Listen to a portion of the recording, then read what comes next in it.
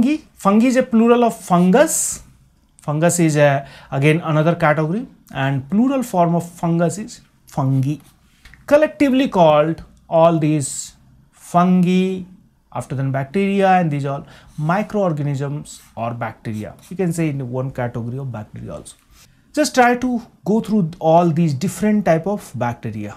Coccus, Bacillus, Vibrio, Aspergillus, then after then fusiform, after then means major you can see these five six type of bacteria there. Just to expose yourself nothing more than that.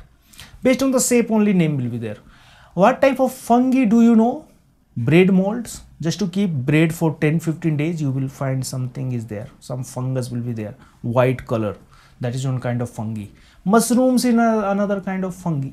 Molds on oranges. That is another kind of fungi. Yeast. Yeast will be created if you are keeping any of the things up to you can say very rotten condition then yeast will be created. After that mildews and rusts and smuts all these is a kind of fungi. Types of viruses virus is a little complicated body.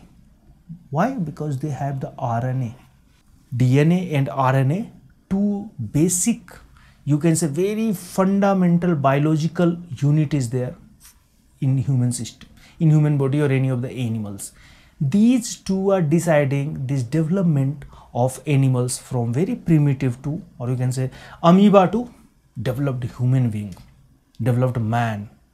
From adam to modern man. Reason was one of the reason is dna and rna then virus why it is much dangerous or virus is having little complication? Because it is having the a strand of rna then different type of will be there helical, polyhedral, spherical, complex. This again